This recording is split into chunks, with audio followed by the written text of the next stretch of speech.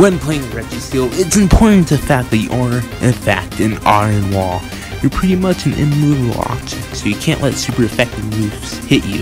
Registeel has 150 stats in defense, so he's pretty more on the even side, unlike 200 from Regirock's defense and 200 from Regice's special defense. So, if you know how to play those two, you feel pretty at home here. Because Registeel is pretty much a steel type, aka one of the best types in the game, probably one of the most resistant, he can easily resist most types like Fairy and Dragon. Keep in mind, he also has body press, so those defense stats are gonna help. Even Stab Earthquake won't do a thing. As long as you just spam Iron Defense, you're gonna be fine. The only thing that will actually hurt you is a critical hit, but even then, that's a rare chance that will happen. Chances are you'll still probably live it, and all there, your opponent probably is gonna forfeit before you even kill them. Usually when someone sees Registeel on their team, chances are they're gonna forfeit. Just like that. even moves like high jump kick won't really do much to you, even if it misses. So, spamming iron defense is probably your best option yet, and all there, it takes a good body press to get the job done. Body press basically means the more defense you have, the higher the power which basically, like I said, is good for Registeel. Since not only he can take attacks, then he can also dish them out too. You can also run Iron Head for ghost types, in case you ever have one, but chances are, if you have two Mons that are weak against, that can actually resist it, you can pretty much bait them into not using a ghost type and use your boy Registeel.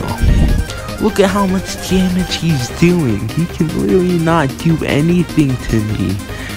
At this point, your opponent's just gonna start throwing out random attacks instead of not hitting him because they know they can't do anything. Oh. Oh no.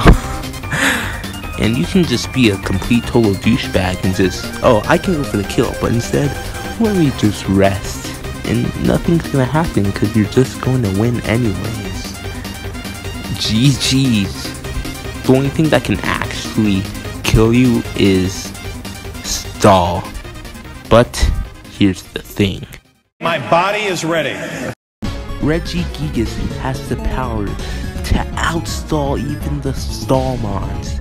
And even if people try to lower your defenses, you have clear bodies, so mons like Sylveon won't have enough power to take you on, and it's just a clean fourth right there. GG.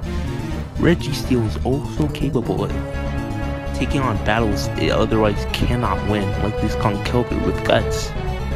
Normally Iron Defense would tank a close combat, but since he's gonna go for Mach Punch, but that doesn't even do a thing and all it takes is a good body press.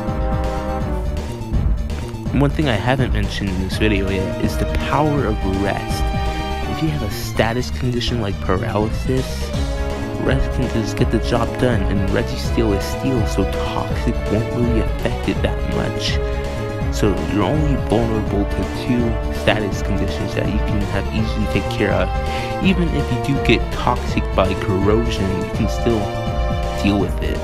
Like moves like Fire Blast can't even do a thing with Registeel's defense. I don't know a better Pokemon that can deal with fire types. Like wow. Ugh, I hate fighting mons that have taunt. That basically defeats the whole purpose of this move set.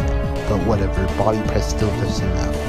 Earth power, 45. Let's see, 1 HP. Come on. Come on, we win. Make it.